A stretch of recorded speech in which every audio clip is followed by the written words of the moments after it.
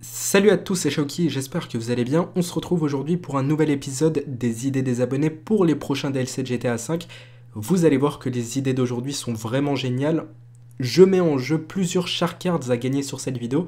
Pour participer, eh bien rien de plus simple, il suffit juste de mettre un pouce bleu, d'être abonné à ma chaîne et d'activer les notifications. Et enfin pour terminer, mettre un commentaire. Vous avez juste à proposer une idée pour un prochain DLC. Tout ce qui vous passe par la tête, peu importe si c'est bien ou nul, ça dépendra que de vous-même.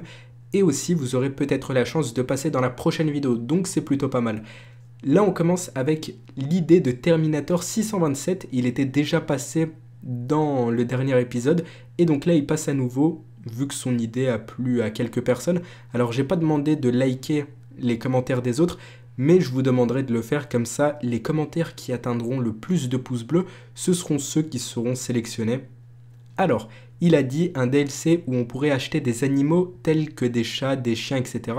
On pourrait jouer avec eux ou se battre contre des joueurs et les contrôler pour faire du repérage dans des missions spéciales faites pour ça, comme dans une mission où on peut contrôler Shop.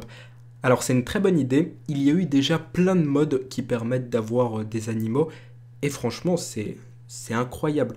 Genre vous avez un chat, vous pouvez le promener, vous pouvez le nourrir, etc. Et c'est tellement bien fait qu'on a l'impression que c'est Rockstar qui ont créé ce mode. Je voudrais bien voir un truc comme ça dans GTA V, c'est pas compliqué. Rockstar ont juste à importer les animaux du mode histoire en ligne. Et d'ailleurs, il y a eu plein de théories comme quoi un DLC pour les animaux allait arriver dans GTA V Online. Mais bon, pour l'instant, on n'a rien vu et on va patienter encore un petit peu. Là, on passe à l'idée de XNR Gaming qui propose un décor destructible. Alors c'est vrai que ça pourrait être génial, mais bon, je pense pas que ce sera pour GTA 5, peut-être pour GTA 6 parce que créer un décor destructible après avoir finalisé le jeu, c'est limite impossible. Il faudrait télécharger euh, un DLC qui serait vraiment énorme, donc je pense pas. Mais oui, un décor destructible comme sur Battlefield, ce serait euh, le top, ce serait tellement réaliste et c'est ça qu'on veut voir dans GTA V, c'est quelque chose de réel. Là, on passe à l'idée de The Gamer PS4, et lui, ce qu'il veut, c'est le mode RP sur PS4.